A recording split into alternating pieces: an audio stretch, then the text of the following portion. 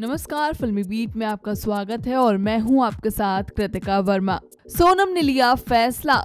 Simple तरीके से करेंगी आनंद आहूजा संग शादी। खबर मिली है, सडनली आंटी श्रीदेवी की डेथ की वजह से सोनम ने आनंद से सिंपल तरीके से शादी करने का फैसला लिया है। दरअसल सोनम के पापा यानी अनिल चाहते थे बेटी सोनम की ग्रैंड शादी करना, लेकिन सोनम को ये बात कुछ रास नहीं आई और बेटी सोनम ने पापा अनिल से सिंपल शादी करने की इच्छा को ज़ाहिर कर दिया। तो सोनम का जवाब था कि वो श्रीदेवी की सडन डेथ की वजह से काफ़ी परेशान है और वो अपनी शादी को ज़्यादा लेविश नहीं करना चाहती। वैसे पहले तो सोनम के पापा अनिल और मम्मी सुनीता इस बात के लिए राज़ी नहीं थी, लेकिन फिर बाद में मम्मी पापा सोनम की इस बात को मानने के लिए तैयार हो गए। हालाँकि सोनम की वेडिंग को काफ़ी प्राइवेट रखा जा रहा है।